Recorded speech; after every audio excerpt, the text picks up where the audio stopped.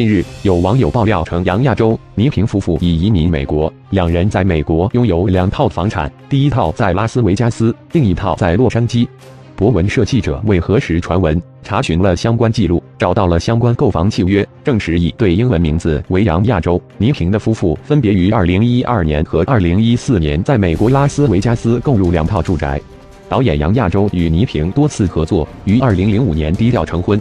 今年二月，倪萍在微博上表示想把家搬到加拿大，随之被网友围攻。于是，她晒出中国护照的封面，手写“我和我的祖国”，否认了移民加拿大。此次爆料，网友展示了一张美国驾照图片，驾照主人名为杨亚洲，出生年份为一九五六年，与杨亚洲相同，而且照片相似度也极高，因此这极有可能就是杨亚洲的美国驾照。而爆料网友又进一步透露，倪萍和杨亚洲是同时利用特殊人才移民计划移民的。那么，倪萍在二零一五年二月晒中国护照的时候，可能已经加入美国国籍至少十五个月了。除此之外，网友还爆料称，倪萍夫妇在美国拉斯维加斯、洛杉矶购买了两套房子。网友表示，倪萍夫妻在拉斯维加斯的房子，现在因为欠七百美元管理费，正在被管理处拍卖。这件事他们是被管理处算计了，他们本来就不知道要交管理费。另一套房子则是在洛杉矶的五千尺带泳池的豪宅，在美国房地产网站上，确实有一位名叫倪萍的业主两年前在洛杉矶富人区圣马力诺区买房的记录，而且价格近四百四十万美金。另据资料显示，这位名叫倪萍的业主购入这套房子时，疑似由花旗银行担保。近日，中国坊间疯传重庆市长黄奇帆的一个数万字的报告，海外多为网称，黄奇帆的这份报告是在今年五月份，在习近平主持中央财经领导小组的会议上，黄奇帆代表重庆市委市政府去做的一个汇报。后来，黄奇帆应邀将此报告向重庆市政协公开。据了解，这份长达两万五千字的报告，基本上是对重庆二零一六年上半年的经济发展情况的一个总结。该报告引用了详实的数据，对重庆市经济发展情况进行了全面细致的说明。其中，供给侧改革是这份报告最重点表述的主题。该报告谈及重庆市的房地产行业的造房销售情况时，披露了大约两千家房地产公司因乱搞高利贷而最终成为僵尸公司等情况。此外，这份报告还谈及当前中国出现的金融乱局，并谈论了热点话题的万科事件。这份谈论经济问题的报告在网络上曝光后，一度引起网友的围观和热议。有分析认为，这篇长文可视为黄奇帆向北京高层交出的一份考卷，可能是涉他未来的人事变动。不过，这份报告在引起网络舆论的关注热潮后，突然被全面删除。据了解，黄奇帆素有“金融市长”的名称，在中国大陆经济全面放缓之际，重庆去年的 GDP 增长在全国排名领先。从今年年初开始，外界曾几次传出黄奇帆可能奉命入京的消息。今年一月十三日，路透社报道称，有两位与国家领导层联系紧密的消息人士，以及两位金融业人士向该媒体透露称。黄奇帆将进京取代杨京任中共国务院秘书长，以辅佐李克强应对中国当前经济放缓和金融市场的震荡。报道称，如果上述任命得到确认，黄奇帆将成为权力第六大的中共国务院官员，仅次于中共总理李克强和四位副总理。按中共的相关规定，这个任命最迟应该在三月的人大会议之后宣布。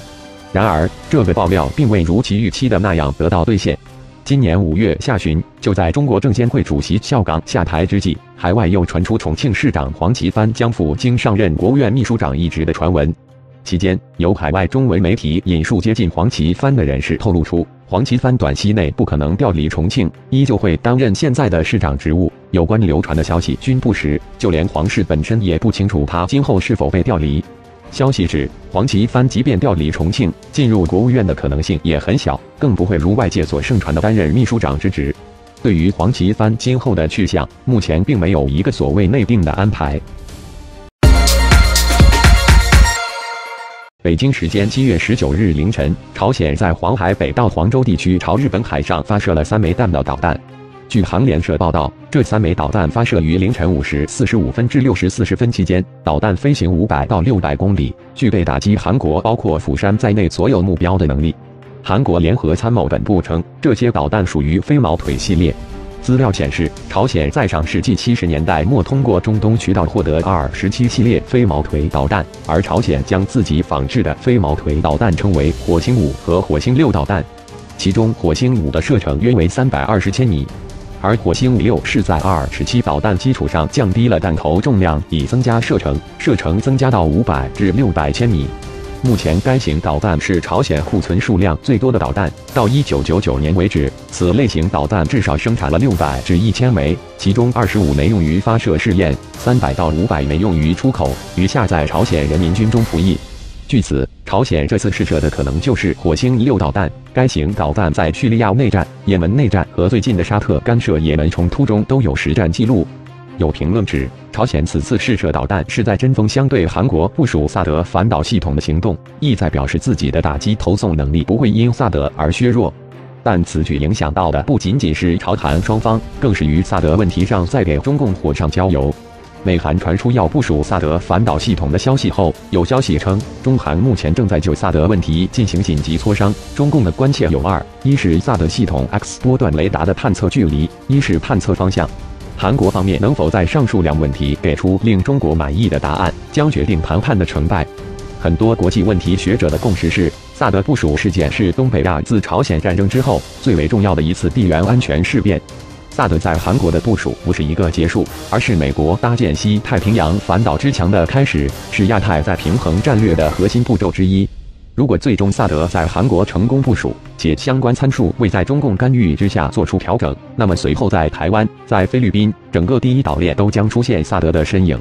届时，中共的核潜力将会被严重消解，中国内陆的飞行器试验、导弹试验等处于全天候窥视之下，战略底牌将落入美国的钳制之中。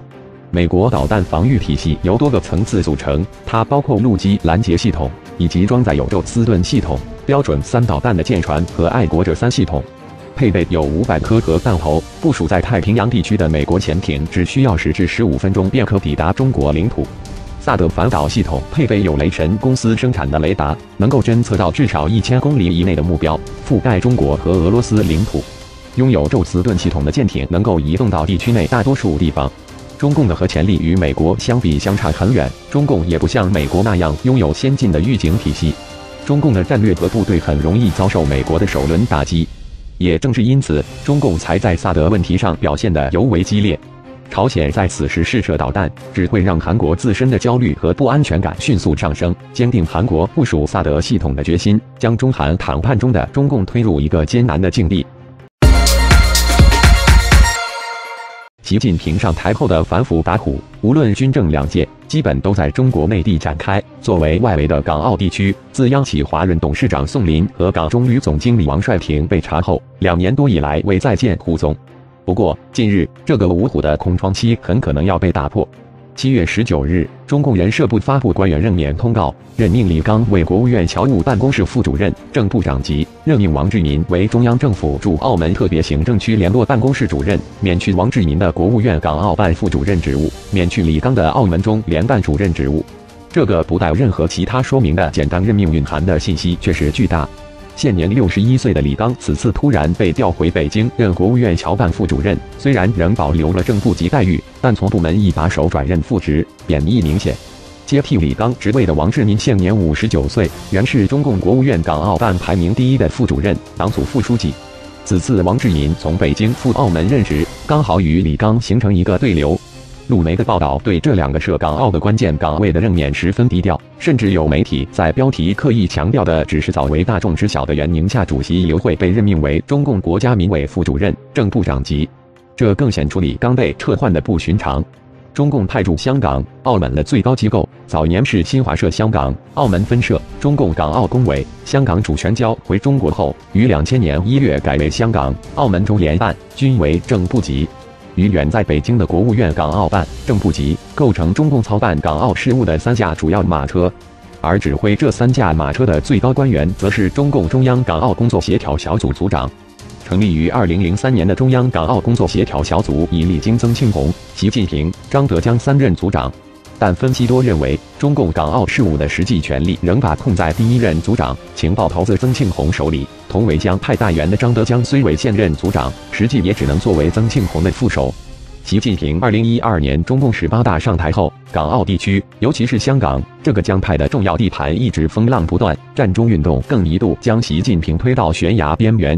在分析人士看来，风浪背后，江派黑手鬼影重重。二零一四年前后，王岐山对中纪委纪检监察室进行了两次大改组，原来的八个纪检室扩容为十二个，其中的纪检第八室首次将香港、澳门中联办列入监控对象。同年四月和五月，江派港澳山头被撕开第一道口子，两名在港央企高层宋林、王帅廷先后落马，其中的华润集团董事长宋林被指是曾庆红的心腹。被王岐山瞄准两年有余的香港、澳门中联办，随着李刚的被贬，现在才终于露出一点眉目。李刚是山东莱阳人，辽宁外语专科学校英语系毕业后留校四年，随即进入中共共青团中央国际联络部，一待就是十五年，官至国际联络部部长、团中央常委，期间历经韩英、王兆国、胡锦涛、宋德福、李克强五任团中央书记处第一书记。李刚同时还是原中宣部副部长兼文化部长蔡武在团中央任职时的副手。随后，李刚外调中共文化部任职八年，主要从事外事工作，曾任对外文化联络局局长、港澳台文化事务司司长。二零零一年调外宣办、国新办副主任，官升副部级。李刚二零零三年调香港中联办任副主任。二零一二年十二月，试图进入迟缓期的李刚突然转任澳门中联办副主任。二零一四年一月，接替在位十一年半的白志健，升任澳门中联办主任。二零一二年，李刚调任澳门时，有消息指趁身为中纪委委员的李刚带有一项棘手的任务，暗查中共贪官挪用公款到澳门豪赌或通过赌场洗钱的情况。不过，未等查赌有成，李刚自己就接到指令，收拾包袱回京。接替李刚升任正部级澳门中联办主任的王志民是福建仙游人，郑州解放军测绘学院制图系毕业，在福建任职十九年，曾任福建省委办公厅处长、厦门市市长助理、福建出入境检验检疫局局长。二零零六年进入香港中联办，任副秘书长兼青年工作部部长。二零零九年升副主任，二零一五年四月回京任国务院港澳办副主任。不过一年多，新回归港澳扎营。值得一提的是，王志民在福建任职时，习近平也在福建为官。虽然两人并未有直接上下级关系，但在观察家眼中，王志民的这个福建标签是其被看中的重要原因。王岐山会否留任中共政治局常委，继续执掌中纪委反腐大任？目前成为外界关注热点。有消息称，王岐山绝不会留任，已经安排好了三个班底人选，备做下届中纪委书记的副手。分析认为，如果上述情况成真，王岐山退休前或会做出更大动作。香港动向杂志二零一六年七月号披露，北京传出未经证实消息称，王岐山绝不留任下届中纪委书记一职，这一点比取消常委制更确定。习近平一直力劝王岐山能够留任。消息称，但目前为止仍旧没有任何迹象表明何人能够接任王岐山做下届中纪委书记。但王岐山看好的班底人物被认为有三个。一个是现任中纪委秘书长杨晓超，官至正部级，现在已经有独立召开专题会议权利；一个是黑龙江省纪委书记上调中纪委的王长松，属于六十后；再一个是现任中共中央国家机关纪工委书记的邓修明，比王长松小两岁。以上三人成为下届中纪委常委，被认为都无疑问。虽然王岐山是否连任下届中纪委书记目前仍旧是谜，但十九大前期将会采取大动作，为界内反腐画上句号的做法被认为已有征兆。六月二十二日，中纪委网站报道，王岐山以中央巡视小组组长身份出席第十轮巡视工作动员会议，部署对三十二个中共中央直属单位的巡视，同时对四省市开展回头看。王岐山表示，要实现一届任期内巡视监督全覆盖的目标。目前距离中共十九大还有一年多时间。中共官媒分析，王岐山本次采取倒计时的方式安排任务，给本届巡视工作列出了明确的时间表，增加了反腐打虎的紧迫感。